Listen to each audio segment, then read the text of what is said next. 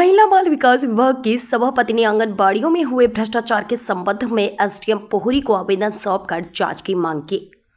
शिवपुरी ज़िले के पोहरी तहसील के अंतर्गत आने वाले आंगनबाड़ी केंद्रों पर हुए भ्रष्टाचार के संबंध में आज श्रीमती सुषमा थाकड़ सभापति महिला बाल विकास विभाग के द्वारा एसडीएम पोहरी मोतीलाल अहिरवार को एक आवेदन सौंप कर जाँच की मांग की है। जानकारी के अनुसार पोहरी विकास खंड के इक्यासी आंगनबाड़ी में जीर्णोद्वार के लिए एवं उनचास आंगनबाड़ियों में रंगाई पुताई के लिए आया रुपया लगभग जिसकी अनुमानित कीमत एक करोड़ बासठ लाख रुपए है। वहीं धरातल पर आंगनबाड़ियों की स्थिति सोनी है। इस संबंध में महिला बाल विकास सभापति श्रीमती सुषमा धाकर ने भ्रष्ट ठेकेदारों के विरोध बड़ी कार्रवाई कर ठेकेदारों के लाइसेंस रद्द करने की मांग की है। वहीं पोरी एसडीएम मोतीलाल अहिरवा ने टीम गठित कर जाँच का आश्वासन दिया है।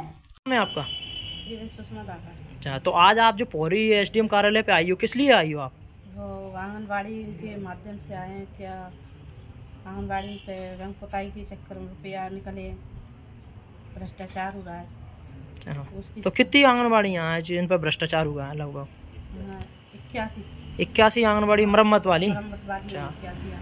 और रंग पुताई वाली कितनी है? उनचास आंगनबाड़ी या कुल कीमत कितनी होगी लगभग? कितना रुपया निकाल लिया है लगभग? एक करोड़ बासठ लाख। एक करोड़ बासठ लाख रुपए की कीमत है। तो एसडीएम साहब को आप आवेदन दिया है आपने। तो क्या कुछ आश्वासन दिया है एसडीएम साहब ने आपको? जाँच करने के लिए कुछ करने के लिए और करवाएँगे। जाँच करवाएँगे।